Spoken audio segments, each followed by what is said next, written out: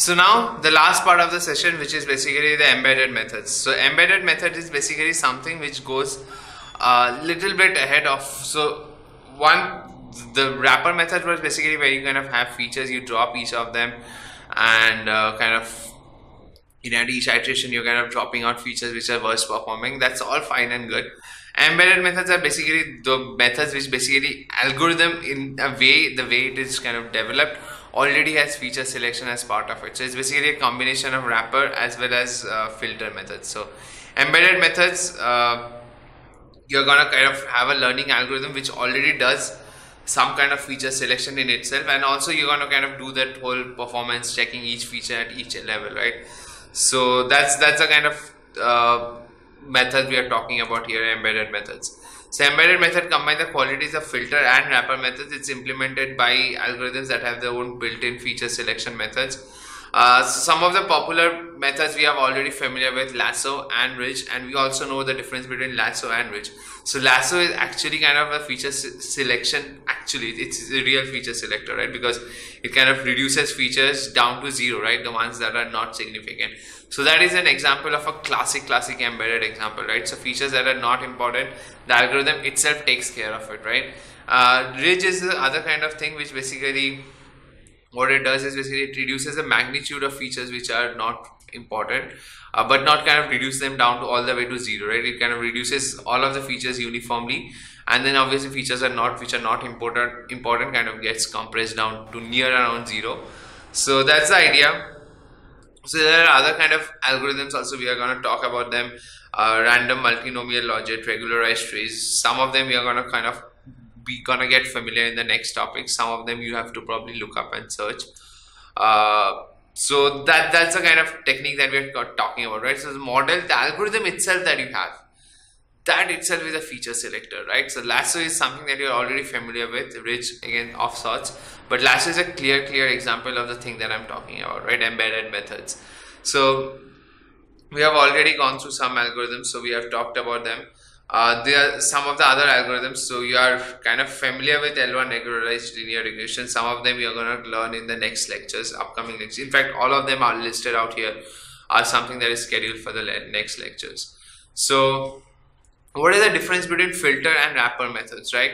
For feature selection the filter methods measure the relevance of features by the correlation variance whatever you talk about but basically some measure with dependent variable while wrapper methods measure the usefulness of a subset of features by actually training a model on it right? So feature selection is that guy who says oh let's let's think. Features filter methods sorry. Filter methods are basically those that guy who kind of prepares a lot and who's like i think this is a strategy. The strategy guy right in a in a company right? And then there's the other guy who actually does things right? Who kind of says that hey i do not know what your strategy is. Let me just do things and then let me learn from it right? So that's the basic difference between filter and wrapper filter is basically the strategy who says before doing anything it just says that hey i think this is not related so probably it's not relevant. It's something that is not absolutely varying a lot so it's not relevant and all of those things right? And uh, filter guy just predicts everything in before doing anything right? He's he's a thinker guy which is not wrong. It's just that we know that the thinker guys can tend to be a bit uh, laggard and lazy in terms of doing things and they are not the most efficient people always right? So that's why we have uh, wrapper methods. Wrapper methods are guys who say that hey i it's all fine. You can predict what is going to work and what is not going to work but i'm not going to rely on that. I'm just going to train my model because at the end of the day day what i'm concerned is not really seeing which feature is important or not. My end goal is basically to see if my model is performing good or not right based on feature selection. So let me just do that only right? So let me just go and fit models and then let me drop features which are not performing. And then see which is the best performing combination that i can get right? So that's exactly the difference between filter and wrapper. So obviously because you're just planning things out and you're not testing things on ground filter methods are much faster right? Because you don't have to do any kind of multiple times model fitting right? You're just doing one variable at a time just do that uh, calculation of which variable is important and that's it. Wrapper methods obviously are computationally expensive uh, because they have to kind of do the model fitting thing multiple times over and filter methods use statistical methods for evaluation of subset of features while wrapper methods use cross validation, right? So filter methods would use all the statistical tests to see which one is performing better. Wrapper methods would go out and say, hey, I really don't care about all of this. All I care is how well is my model performing on a validation set. And that's what it would use, right? So, so that's the concept of difference between filter and wrapper methods. So filter methods might fail to find the best subset of features in many occasions, right? the major problem with any univariate analysis as and this is what i was talking about right so univariate analysis in general and obviously filter methods are all univariate methods basically have this lag problem where if you're looking at each variable separately you are kind of have you might miss out on you know kind of looking at 15 irrelevant features and you say that each of them are irrelevant and you drop them but probably 15 of them together probably made some sense so that's why it's it's um, filter methods might not be the best idea to kind of find a subset of features, right? A group of features which uh, wrapper methods can always provide you, right? And using a subset of features from wrapper methods make the model more prone to overfitting as compared to using subset. So obviously, if you are kind of looking at the validation set performance and kind of trying to derive the best features, uh, the problem with that, obviously, which you probably would have guessed by now, is sort of overfitting. You're kind of looking at validation set performance and doing it uh, and then you what to kind of counter that what you tend to do is basically you kind of have two kind of validation sets right? One is basically where you just use for feature selection right? And then the other one is basically you tune your other hyperparameters on. So that's that's a, that's the kind of thing you want to do for uh, in case of in, in try to controlling overfitting. Because definitely using wrapper methods if you're directly using validation set to kind of infer what variables to use you would obviously have a set of variable which gives you the best performance on validation set. And that may not necessarily generalize very well in case of a test set. So that's why in, to kind of counter that you would want to probably have a separate validation set in this kind of cases where you're using wrapper methods. So so now let's kind of try and see uh, how all of this is implemented in, a, in an example of decision tree and logistic regression. And these are probably things that you're probably not random forest is something definitely you're going to kind of uh, learn in later classes. So what we are gonna do is basically take importance of this particular feature. So I've talked about how linear regression kind of ranks the features. Uh, that's basically using the weights, right? So in linear regression, if you look at the weights, you can infer which feature was important or not. In case of random forest and decision tree, there is something else called feature importances, and that's what we are gonna use to try and see which models. How do we kind of do this whole uh, wrapper methods, right? So what we do is basically we first import all the methods, all the uh, classification algorithms that we want to uh, classification algorithm that we want to kind of use. And then we say select from model uh, which is basically we are kind of using wrapper methods. And then in wrapper methods we basically pass the kind of classification. So in this case first case we are using decision tree classifier and then what we use is what we say is that we do selection model which is basically instantiate the class. The same thing we did for RFE right? You first say what is the model that you're going to try and use and then based on that uh, you say model dot transform x right? So model dot transform would basically do the same thing.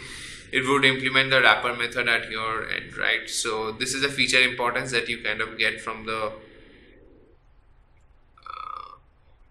So you had earlier 134 features and now after you do the wrapper based best model selection you kind of end up with 17 features.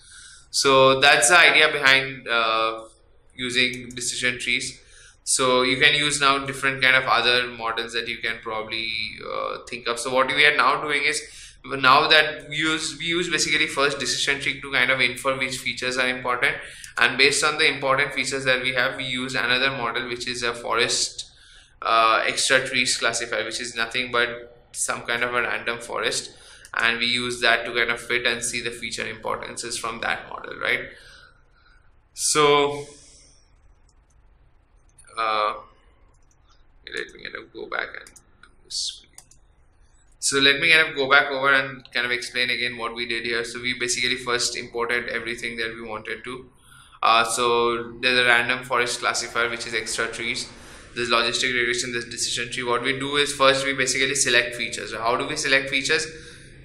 We say that use a decision tree to kind of uh, infer what are the important features and what the model did was it had 34 features it inferred that out of those 34 17 features are important now based on the 17 features it basically fitted a different model on the new set of 17 features and from those 17 features you can see the corresponding feature importances out here right?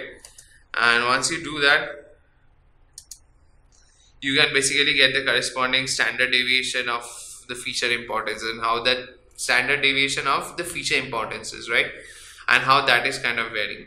So now if you sort them by uh, importances right? So importances was your uh, the feature importances so you get the most important features and this is a feature ranking so the feature ranking you see that feature 14 was the most important feature followed by feature 1 followed by feature 25 and so on and so forth so this is the same thing that we so uh, we are kind of what we are trying to do here is basically uh, try and kind of get under the hood of what RFE actually does, right? So RFE was basically exactly doing this and doing it in iterations. This is the same thing that we have done here.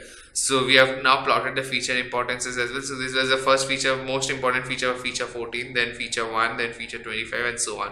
So we have just plotted the features in order of their importances.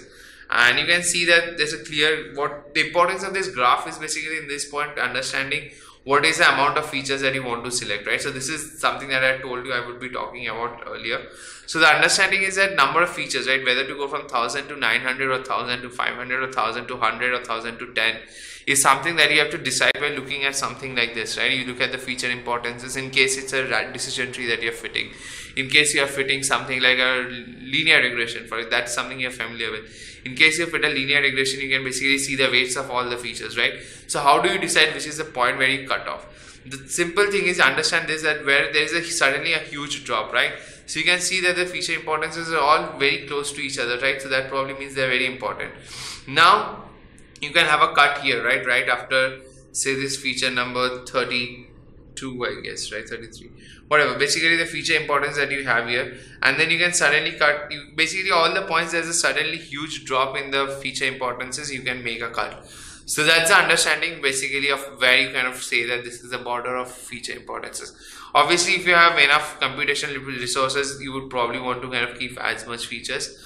Uh, but obviously if there are absolutely insignificant features you would want to drop them irrespective of if you have computational power or not if you have obviously computational power based constraints that you cannot have 1000 features you can only have 100 200 features then whether to go for 100 or 200 or 150 or 160 or 180 you kind of take a call based on this kind of a chart of sorts right? Where you see that the feature importance drops widely. It drops very sharply at any point. You say that that's it. Enough. So that's it. That's the session from my end on feature selection. So in this session we talked about feature selection why it is important then we talked about univariate feature selection. We talked about multivariate feature selection. We did not actually talk about multivariate feature selection till much later in the lecture. We talked actually we focused a lot on univariate feature selection in the beginning. We talked about filter methods, uh, variance reduction, correlation based and the statistical test to kind of measure correlation. We talked about fallacies of all of those methods, including correlation and linear correlation. Uh, and then what we talked about was basically wrapper methods and kind of we talked about the exact idea and why that is more efficient than say a filter method. But it's also computationally a lot more expensive. And we talked about embedded methods where we see the algorithm in itself the way they are designed kind of takes care of uh, the features important features right? So that's about it. Log on to GreyAtom's learning platform to unlock more free content. Subscribe to our channel and hit the bell icon for regular updates